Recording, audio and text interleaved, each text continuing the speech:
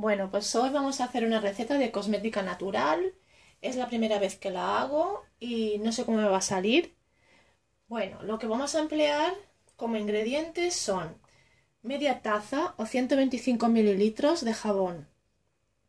En este caso, he utilizado mayormente jabón de Dr. Bronner's, ¿eh? el jabón mágico de Dr. Bronner que es completamente natural, vegano y viene pues en muchos... Viene neutro y viene también con varios aromas. Este es de lavanda.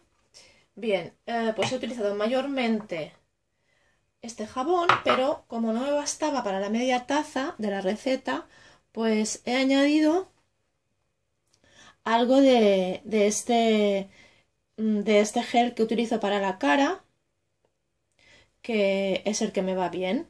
Bueno, pues ya prácticamente usando esto eh, me quedaba poquito de cada, de cada envase y prácticamente los he gastado. Bueno, luego la receta lleva la misma cantidad de agua. ¿eh? De agua, o sea, media taza, 125 mililitros. Después tenemos de estas tres cosas, es que es fácil recordarlo, para media taza o, para una taza de líquido en total lleva cuatro cucharaditas de cada de glicerina, que yo la utilizo vegetal, de gel puro de aloe vera y de aceite de almendras, que también se puede utilizar el que queráis, el que le vaya bien a vuestra piel o el que os guste. Por ejemplo, jojoba también se puede utilizar.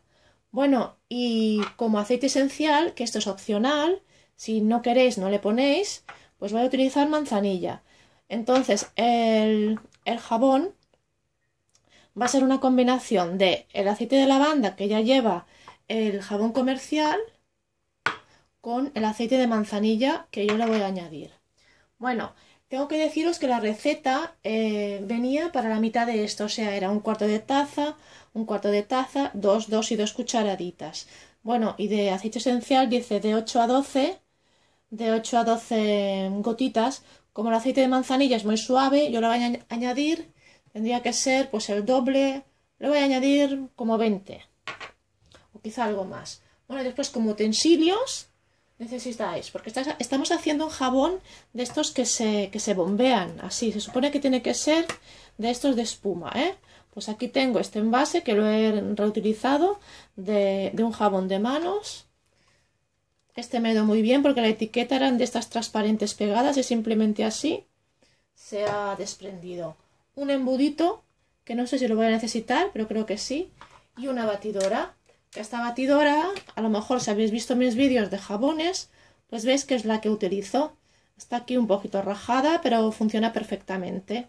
Yo prefiero utilizar batidoras diferentes para, para cosmética y para, y para alimentación. Pues bueno, lo primero que dice la receta, bueno, la receta tengo que decir que decía que utilizáramos una batidora de vaso. Pero yo, como soy de vaso, pues la utilizo para hacer el gazpacho y todo lo que, todos los batidos, pues no la quiero usar para jabón. Sobre todo porque mm, si solo fuera jabón, pero bueno, lleva aceite esencial y todo esto. Bueno, pues lo voy a hacer aquí con la batidora que os he enseñado. Supongo que va a tener el mismo efecto, no lo sé. Bueno, pues la receta es muy fácil. Dice que pongamos menos el jabón, o sea, que apartamos del jabón, porque dice que si se pone al principio, pues, pues que, se crea mucha espuma.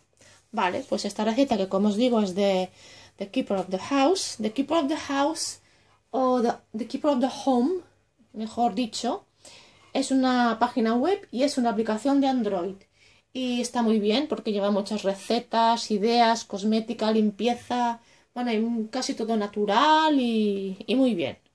Y muchas recetas vegetarianas.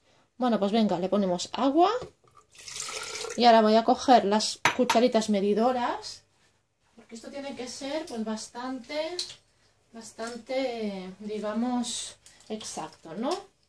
Bueno, pues esta es la de cucharadita.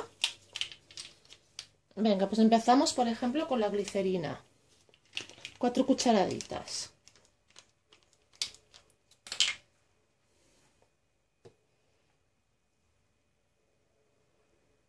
Una. Tres. Y cuatro. Bueno. Ahora vamos a poner.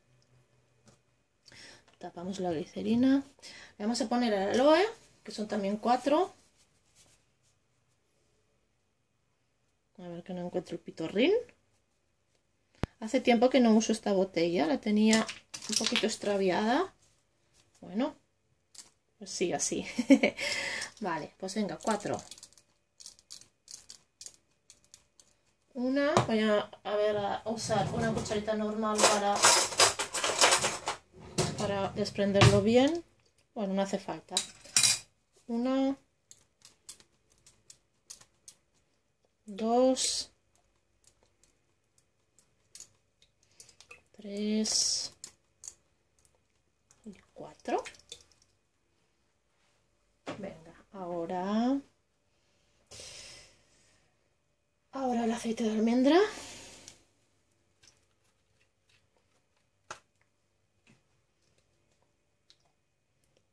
Una, dos, tres, cuatro.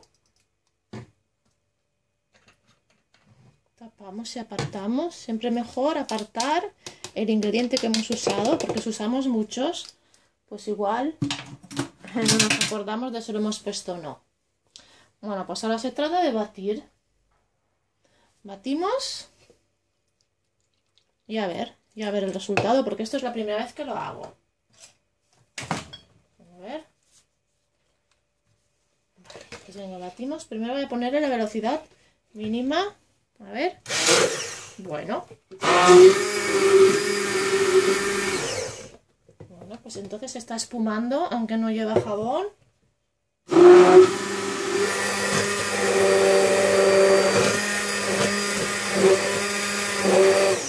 Bueno, se me ha olvidado poner los aceites, ¿verdad? Pues venga. Manzanilla. Y que se me cae el dosificador. Vale. Venga.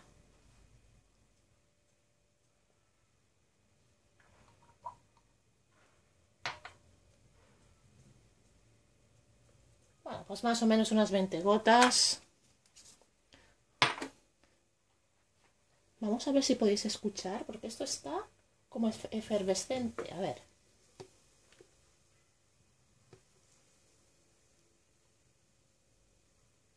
Entonces, uh, eso es lo que pasa.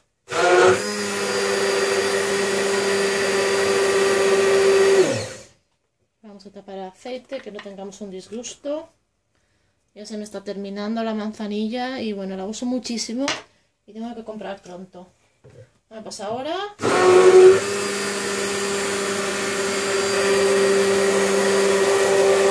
Tenemos que oler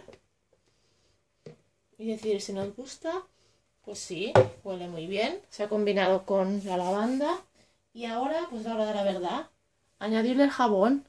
Que si esto así, pues ha espumado, no sé qué puede suceder ahora. Vamos a ver. Añadimos el jabón. Y vamos a ver.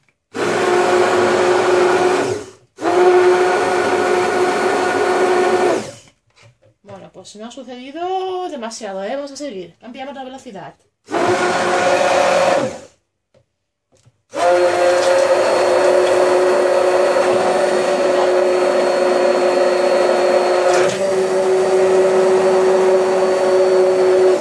Bueno, bien, muy bien, ¿eh? Mirad, mirad. Se está poniendo súper cremoso.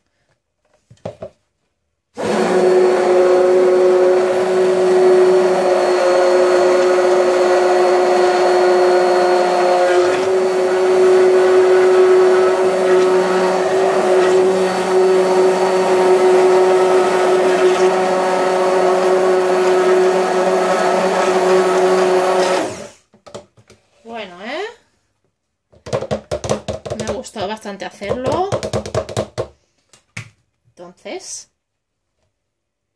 Huele de maravilla. La verdad es que domina la lavanda del Dr. Bronner's. Bueno, pues ahora lo vamos a pasar aquí. Por el embudo, que yo creo que sí que ha sido una buena idea, ¿verdad? Vale, pues ahora con el embudo lo pasamos aquí. Creo que la cantidad pues va a ser más o menos... Va a ser adecuada para esta botella, ¿verdad? Bueno, la verdad es que la pinta, la pinta es fantástica. Luego probaremos a ver qué tal. No sé si se tiene que remover para usarlo, la receta no lo dice.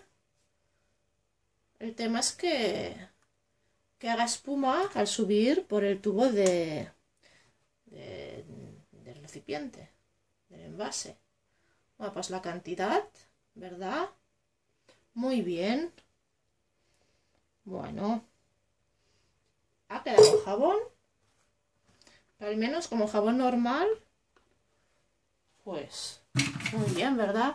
Luego veremos si se separan los componentes, los aceites y todo esto, pero en principio, bueno, ha quedado esto, ¿eh? Ha quedado súper presentable, pero ahora vamos a ver cómo funciona. Pues ahora, vamos a ver qué tal. A ver. Bueno, pues aquí la verdad es que espuma, pues hace un poquito. Voy a aprovechar para lavarme las manos. Aunque las llevo limpias. Bueno, el jabón, la verdad es que te da una sensación de suavidad en las manos. Mm, porque claro, la glicerina, el aceite... La verdad es que al lavármelas he tenido la sensación de que de que me, estaba tratando las manos, o no solo lavándomelas.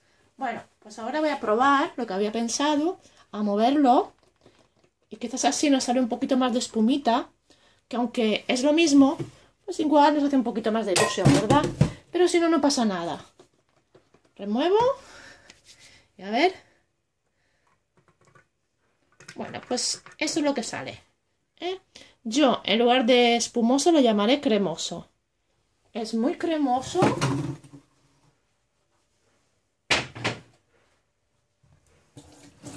Y me lo voy a... Me voy a usar para cara y cuerpo. Bueno, mirad, mira la espuma, que vale la pena, ¿verdad? Fijaos. Fijaos que espumoso, que bien. Y cuando te estás... Em, cuando está... Uy, el grifo abierto, madre mía. y cuando estás así, ¿eh? pues notas, notas la glicerina, el aceite, lo notas muy bien. Bueno, y huele fantástico. Y ya ves, qué poca cantidad y qué maravilla, ¿eh? Bueno, luego hay que ver los resultados. Pero en principio, bueno, qué maravilla, ¿verdad? Bueno, ojalá en el vídeo de YouTube, cuando ponen el. Cuando ponen el, el vídeo en YouTube, ojalá pongan esta imagen. Señores de YouTube, si me están escuchando, pues ya lo saben. Pues lo que decía, que luego hay que ver los resultados. Pero yo lo que os aconsejo es que uséis, bueno, mm, en primer lugar, eh, productos buenos. Por ejemplo, el gel de aloe vera tiene que ser gel de aloe vera puro. No tiene que ser una mezcla de, con otras sustancias. Bien, después usáis a los aceites, pues también buenos, 100%, la glicerina, todo. Y después, como le estás añadiendo jabón, pues os, os, aconsejo que uséis algún jabón que ya estéis usando para vosotros. Claro, no hace falta usar este eh, concretamente, ni este, pero yo, como este jabón es el que uso cada día para la cara, y este también lo he usado, y sé que no me resecan, no pican, no me causan reacción, pues por eso usar esto pues ya nos da una, garantía, que si queréis usáis vuestro gel de baño y ya está, ¿verdad? Bueno, pues me parece que el resultado me va a gustar bastante. Creo que este jabón incluso se merece aquí una etiqueta casera. Aunque también está muy bonito así blanco, ¿eh? muy minimalista. Y nada, que gracias por escucharme, por verme. Y a ver si os animáis a probarlo.